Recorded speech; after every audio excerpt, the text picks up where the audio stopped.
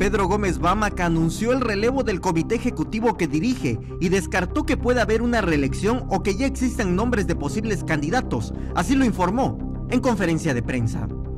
En el cual se trataron el tema del vencimiento del comité ejecutivo de la sección 7 y que ante ello, en esa resolución del Consejo Nacional, se da certeza jurídica respecto a que continúa vigente y en funciones el actual Comité Ejecutivo y demás órganos de gobierno de la sección 7.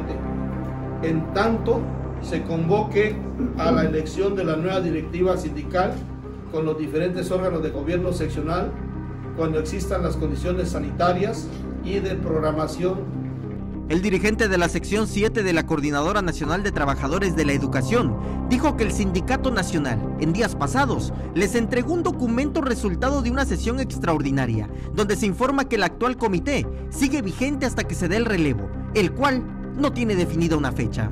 Tenemos que llevar a consulta a nuestros compañeros esa decisión.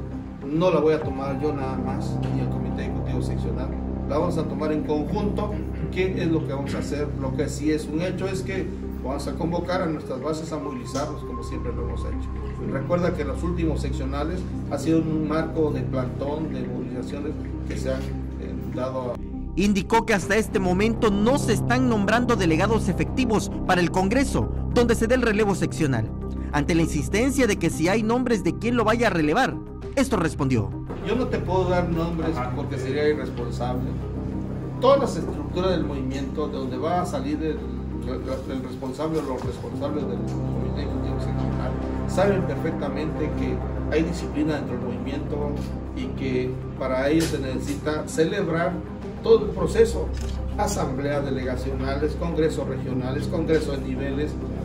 Es lo que hemos hecho siempre para que quien salga tenga el respaldo total de las bases, porque lo contrario no lo va a tener. Entonces, no, no, no puedo decirte, ¿sabes que ya hay alguien? Es posible que ante estos arribos siempre está latiendo fuerte el corazón de algunos o algunas. Con imágenes de Fren Saldaña, Samuel Revueltas, Alerta Chiapas.